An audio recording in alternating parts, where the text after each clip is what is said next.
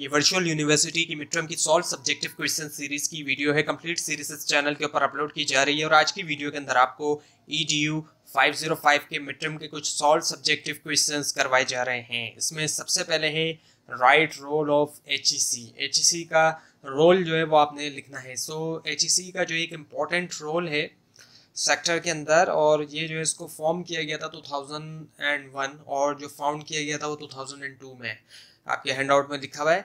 सो commission जो है, ये जो बनाया गया तो इसने सिग्निफिकेंट कंट्रीब्यूशन की यूनिवर्सिटीज़ की जो इम्प्रूवमेंट थी इस कंट्री के अंदर इंक्लूडिंग जिसमें बलूचिस्तान भी शामिल था, और स्पेशली जो अर्ली ईयर्स थे इसके टू थाउज़ेंड फाइव सिक्स तक तो उसमें बहुत अच्छा कंट्रीब्यूशन रहा था एच e का। उसके बाद कुछ थोड़ा हम कह सकते हैं डिक्लाइन आया है और आता गया उसके बाद ये कि एच ई सी रिस्पॉन्सिबल है नेशनल स्टैंडर्ड्स के लिए प्रोवाइड करता है ग्रांट्स यूनिवर्सिटीज़ को और गाइड भी करता है, जो पॉलिसीज़ होती हैं क्वालिटी के ऊपर। उसके बाद ये कि डिस्क्राइब करें एजुकेशनल एम्स तो ये जो है जनरल स्टेटमेंट है जो कि प्रोवाइड करते हैं डायरेक्शन या फिर इंटेंट जो है एजुकेशनल एक्शन को।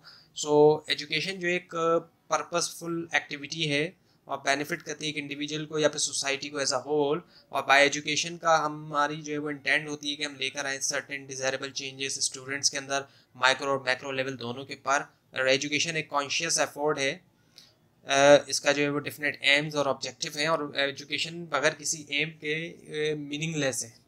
उसके बाद ये कि राइट ब्रीफली लिखें इन सर्विस टीचर ट्रेनिंग के बारे में। सो प्रोविजनल इंस्टीट्यूट जो है टीचर एजुकेशन का और बी ओ सी और ई ओ सी अंडरटेक करता है in service teacher education province के अंदर।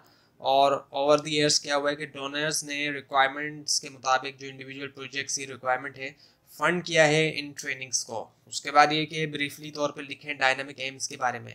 जो एम है एजुकेशन का वो चेंज हो चुका है टाइम टू टाइम अगर हम वक्त के साथ देखें जैसे कि लाइफ चेंज होती है वक्त के साथ। So aim of education dynamic है और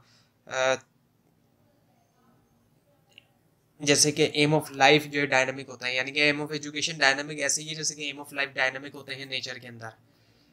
उसके बाद ये कि एक्सप्लेन करें बलूचिस्तान एजुकेशन फाउंडेशन को। सो so, बलूचिस्तान एजुकेशन जो फाउंडेशन है ये सपोर्ट करती है कम्युनिटी को।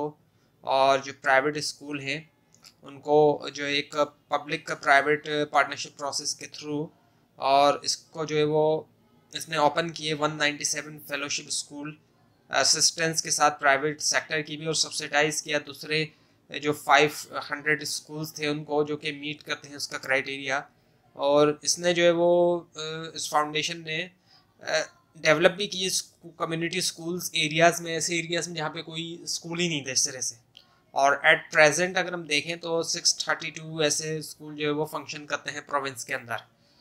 तो ये थी आज की वीडियो आपको अगर इस बारे में कोई क्वेश्चन है, खासतौर पर इसमें कोई मिस्टेक दिखाई दे, ज़रूर हाईलाइट कीजिए और इस पूरी सीरीज़ को देखने के लिए इस चैनल को सब्सक्राइब कीजिए बेल आइकन के ऊपर क्लिक कीजिए। Thanks for watching this video and best of luck for your exams